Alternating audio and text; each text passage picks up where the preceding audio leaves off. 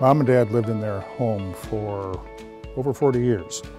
Uh, is the home we grew up in, and of course, we all left, and uh, it was their desire to stay in their house as long as they could.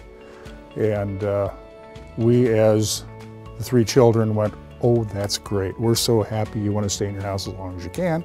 Let's do some things to make it a little bit safer. Well, those things never happened. And then Dad fell. And so this was not in anyone's plan. Uh, but I can also say unequivocally, it is also not a plan to stay in your home as long as you can. Stay in your home as long as you can, there is that seminal moment when you can't stay there any longer. And all too often it happens bang, and it's over.